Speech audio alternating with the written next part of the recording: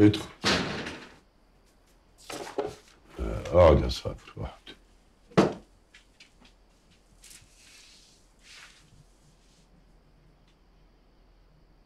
كنت بتفتح بيه المندل يابا؟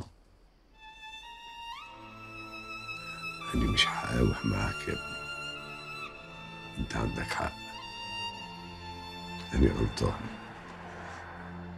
حقك عليا يا صابر. كنت زي المجذوب لما عرفت السكة دي ومشيت فيها زي القطر. لكن خوفي عليك هو اللي خلاني وقفت. انت البركة اللي خلتني ما اكملش خوفك عليا؟ لو كنت خايف عليا بصحيح ما كنتش عملت فيا كده. الكلام اللي بتقوله ده يا صابر والله خوفي عليك زي خوفي على اخواتك بالظبط. طب ليه ما فتحتش المندل بابنك حسن؟ جربته خدته معايا وما نفعش لكن انت لا انت كنت تشاور على حاجة من أول لحظة تصيب على طول. اوعى تفتكر إن أنا بقول كده إن أنا مش حاسس بغلطتي. لا يا ابني أنا غلطان. بس ساعات الأهل يختاروا طريق لأولادهم ويرسموا ليهم كويس قوي وفي الآخر الأهالي تكتشف إن هي اللي غلطانة. سامحني يا صابر يا ابني. أنا غلطان. سامح أبوك.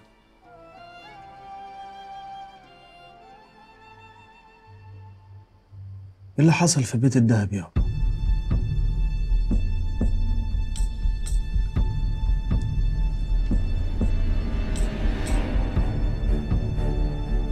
الراجل مات إزاي؟ ومين اللي موته يا ابني ما تجلدش نفسك أكتر من كده. انسى اللي فات فكر في اللي جاي بكرة.